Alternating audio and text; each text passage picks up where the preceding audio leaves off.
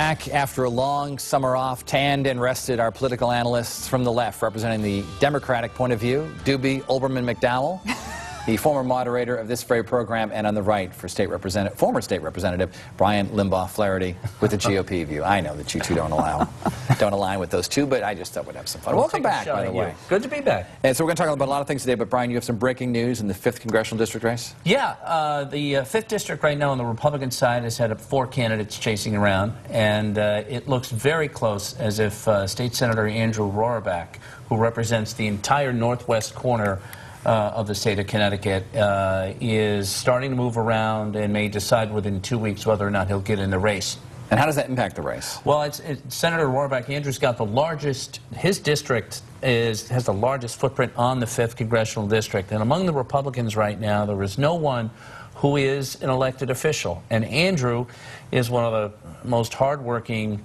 Uh, brass tacks politicians, members of the state senate that you're ever going to see. This is a guy who does his office hours and uh, works hard, doesn't do a lot of press conferences, but one of the interesting things is that the footprint of his district in the state senate on the 5th, there are a lot of voters who in the past few elections are used to voting for both Chris Murphy and Andrew Roraback. He's got a crossover appeal, and I think he's just a very serious, deliberate uh, a public official, and it could change the race if he gets in. Who does it hurt the most of the other candidates? Hard to say. Uh, Lisa Foley's been getting probably the most airtime. Mark Greenberg, the, of the two, got a highest profile. But I think it affects the whole race if he decides to get in. Good enough. Let's talk about that Senate race. We do have a big Senate race. Let's show you the candidates here. Let's begin uh, with the Democrats. There are five of them right now. Former Secretary of the State Susan Bysiewicz, Congressman Chris Murphy, State Representative William Tong, Silvestro Salcido, an attorney in Bridgeport, uh, former Army uh, veteran, and Lee Whitnum, uh, an author from Greenwich. And let's talk about the um, GOP race as well. Four candidates, freshly minted in the race. Of course, Chris Shays in the corner. Brian Cah- Cahill, Hartford attorney. Jason McCoy, the uh, mayor of Vernon. Linda McMahon, the 2010 nominee. And, of course, Mr. Shays. And Duby, I'll begin with you with the Democratic race. Where does it stand? Chris Murphy, obviously leading the pack in some of the polls and in the money race. Yeah, and this is a, uh, a race between Chris Murphy and Susan Bysiewicz for the for the nomination. With all due respect to the other candidates, I mean that's what the polls show, um, and they're both well known to members of the party. And uh, I mean, Murphy at this point has the edge. The polls show that, and has a money edge at this point. But it's really Murphy and Bysiewicz. So it's his race to lose. yes, I would. I would. Would agree with that at this point. William Tong surprised a lot of people by raising so much money that first quarter. And, and that was um, commendable, and I think the media had a little love affair going with um, um, William Tong for a while. But if you look at the polls, um, and he will, I'm sure, discount the polls, um, he, he got something like 1%. That's going to hurt future fundraising. And there are two already two very strong candidates in the race, and I'm not sure there's room for, for another one. The media seem to love Chris Murphy. They seem to pick on Susan Bysiewicz still. Why is that? Uh, I don't see it that way, actually. You don't? Okay. No. I, I mean, I think Murphy is getting the most attention by virtue of the fact that he, it, I mean, the polls. Let's let's face it. A lot, of what the media cover um, is is poll driven, and I think um, Murphy's polls. But I think, I think what you hear everybody say about Bysiewicz is, is never count her out. Yeah, I mean, she's won a lot of statewide elections here.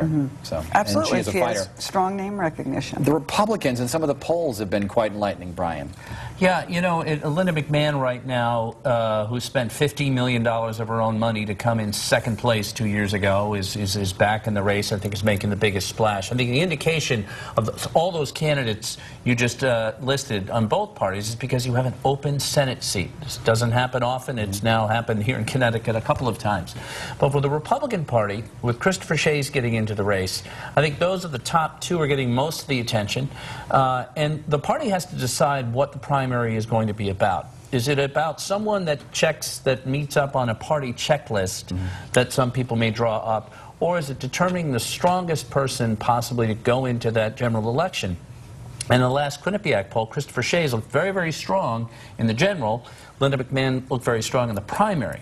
And Shays announcing this past week, um, I think he's really got to start moving around the state, you really want to show people that you want the job. You did a very soft, very quiet announcement, which left some people shaking their heads. Are the foundations of, of how people vote in this state changing? President Obama's approval rating down to 48%.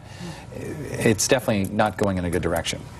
At the same time, though, we're still a long ways away from the, the 2012 election. So I, I would not look at Obama's numbers and say those are what the numbers are going to be for that next election, and therefore that that's going to affect races uh, down the ballot. Can Linda McMahon win a general election? That's a very good question because she seems to be topping out at about 45% of the polls and can't seem to close the deal. She couldn't do it two years ago, ran out of steam quickly at the end of the party. But I think that David Orner said in the first segment, this is going to be a kitchen table election. The recession is still very strong, and people are going to look at each other and decide, how, you know, what's going on? What is our family going to be like? What are the challenges? And who are, who's speaking to those either through the primary election and into the general? Is that a problem with the electorate or a problem with Linda McMahon? Because when was the last time a Republican, uh, well, last time a Republican won was 82, right? Lowell Weicker won Lowell re-election. Lowell Palmer Weicker Jr. But Yeah. this, this, is, this is a winnable election. This is a toss-up. There's no inevitability for Chris Murphy, I'm sorry to say, on the Democratic side, and that's why this will be a very competitive, competitive race. But as a Democrat, I would say, fine, bring on Linda McMahon. She spent all that money uh, two years ago and wasn't able to win.